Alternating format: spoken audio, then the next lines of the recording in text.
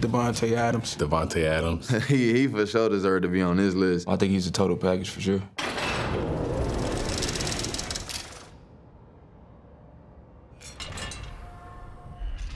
How you feeling? Like a million bucks. Like a hundred million. Davante Adams posted a career-high 15.2 yards per catch and was named first-team All-Pro for the third straight year. You really got to have good eyes on him because if you don't guess right, it can be a touchdown. And one.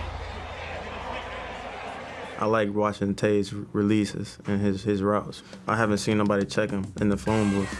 He'll give you so many different releases from in his bag. It's so crazy. He has so many different moves and releases. He just put one of those Allen Iverson moves on you, and you know it goes for a big game. Gets a great release. You've seen what he can do against the best corners in the league. It's just not fair.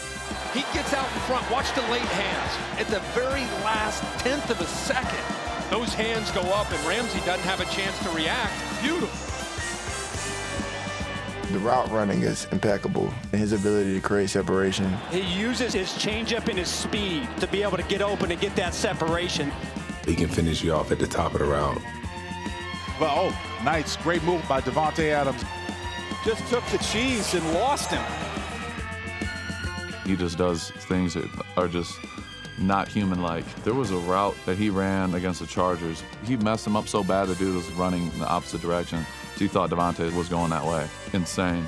That was, that was elite. I ain't never seen nothing like that. You could be inside leverage. He gonna find a way to get inside of you. Gets it again. Pitches it back to Derek Carr. Looking downfield for Davante Adams. In stride at the five. Touchdown Raiders. And you can be outside leverage on some plays, and he gonna find a way to get outside of you. Throws Davante Adams. Caught back shoulder right in front of Patrick Surtain. Hey, let's keep it simple. 17 don't get it. Always know where he's at. We knew that we had to double team him at all times. Sometimes two defenders just aren't enough. He beat a pair of Broncos to the near corner of the end zone. He has an ability to just make every catch no matter if he's covered or not. Oh my goodness, Davante Adams. It's impressive how number 17 is able to come up with footballs with one hand. Oh, how did, did Adams make that catch?